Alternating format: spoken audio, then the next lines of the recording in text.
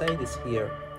In this lecture, we would like to discuss about uh, teleportation path or teleportation spline or teleportation trace. Last lecture, we already discussed how we can make uh, teleportation uh, to show the location that we would like using projectile. In this lecture, we would like to discuss how we can show this path with some kind of Niagara effect. In order to make it easier, I already made uh, the projects and the things that we need and I will explain how did I made them and how you can repeat it or use the project files. First of all, we need a path that we already calculated using the projectile uh, path prediction. Uh, this path can be an arbitrary path that started from the hand location and will end uh, to the teleport location that we would like. This path is not visible because it's a spline component. In order to make it visible, we can use a Niagara component as a particle system to visualize some particle system on top of that. In this case, I just made a simple Niagara system with two different uh, Niagara particles that one of them just a simple sphere that move from one location to the other one and uh, using the spline path and the other one is uh, the particle system that uses some kind of curly noises that moves also in the other direction as you can see in this way. The spline component, the simple spline component without any specific condition. We just have uh, two uh, points for it uh, that they have some tangent and location in the world space.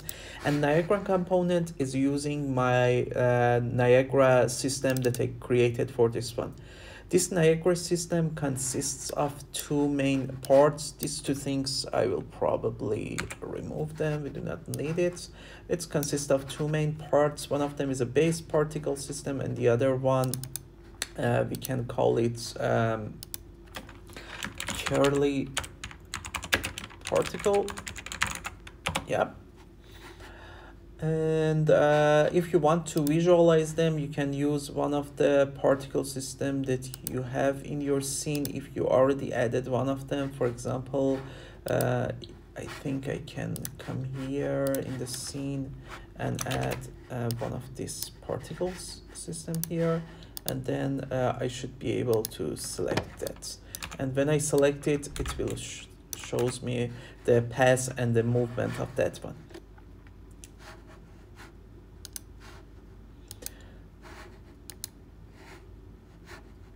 Great. Now we have our particle system again that uh, has uh, one curly noise and one simple particles.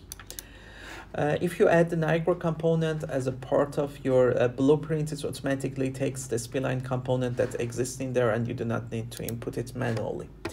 However, I created a custom um, a C++ class for this to make it easier for me to manipulate. If we open this um, C++ class, you can see I have a um, spline component here as a UPROPERTY, which is blueprint read and write in case that we need, and also Niagara component. And I initialized both of them in the um, constructor of this C++ class.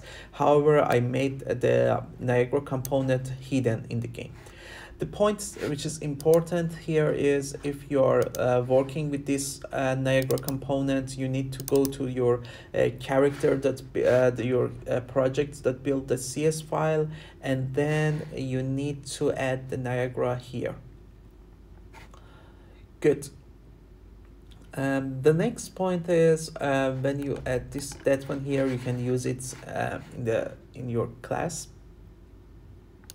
the next point is uh, when you uh, are doing that, it also makes it easier later to update the location and tangents of uh, your spline component by another method that is specifically designed for our teleportation system because I know that I need only two points. I just take the begin location and end location of my spline and then with tangent that I defined, I can easily uh, set them in the other component. There is already a method for uh, setting location and tangent of the spline points, but I created this method uh, to make it easier for me to manipulate.